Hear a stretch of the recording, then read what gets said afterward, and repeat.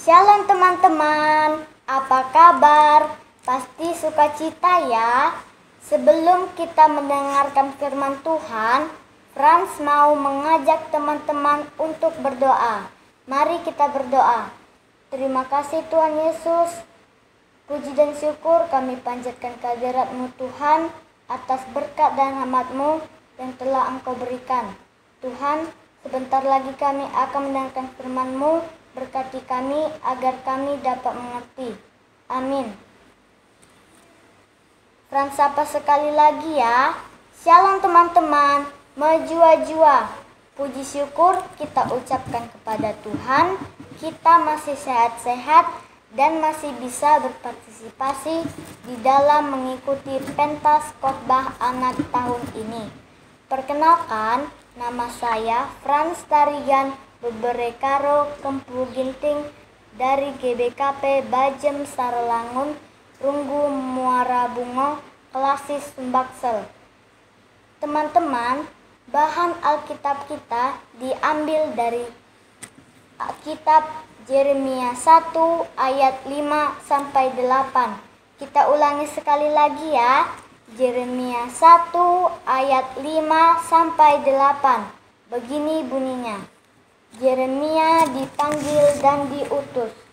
Sebelum aku membentuk engkau dalam rahim ibumu, aku telah mengenal engkau. Dan sebelum engkau keluar dari kandungan, aku telah menguduskan engkau. Aku telah menetapkan engkau menjadi nabi bagi bangsa-bangsa.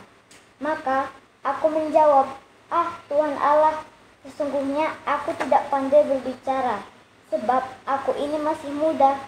Tetapi Tuhan berfirman kepadaku, janganlah katakan aku ini masih muda. Tetapi kepada siapa pun engkau kuutus, haruslah engkau pergi. Dan apa pun yang kuperintahkan kepadamu, haruslah kau sampaikan. Janganlah takut kepada mereka sebab aku menyertai engkau untuk melepaskan engkau. Demikianlah firman Tuhan. Teman-teman KKR, setelah kita membaca bahan Alkitab kita, ternyata sebelum Jeremia lahir, Tuhan sudah menempatkan bahwa dia akan menjadi nabi.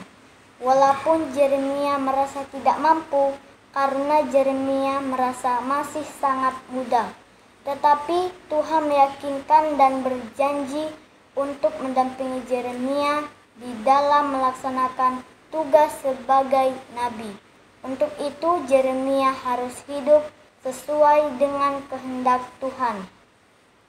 Teman-teman, tema kita hari ini adalah Aku dilahirkan untuk menjadi berkat. Kita ulangi sekali lagi ya. Aku dilahirkan untuk menjadi berkat. Teman-teman, setiap manusia yang dilahirkan ke dunia ini sudah diberikan berkat dan rencana dari Tuhan. Berkat itu adalah kesehatan dan kemampuan yang kita miliki sekarang. Contohnya, membantu orang tua, menjaga adik, menolong orang membutuhkan, mendoakan, dan mengasihi. Itu merupakan contoh berkat. Jadi, teman-teman KKR, janganlah takut untuk menjadi berkat buat orang di sekitar kita. Walau kita masih anak KKR, tetapi kita yakin Tuhan pasti memampukan kita sama dengan Jeremia. Amin. Mari kita berdoa. Terima kasih Tuhan Yesus, kami sudah mendengarkan firman Tuhan. Berkati kami dan ajari kami agar anak KKR bisa menjadi berkat buat orang di sekitar kita. Tuhan, dalam nama Yesus Kristus kami berdoa. Amin. Salam sehat. Teman-teman, jangan lupa 3M ya, memakai masker, mencuci tangan dengan air mengalir, dan menjaga jarak. Tuhan Yesus memberkati. Amin. Bujur.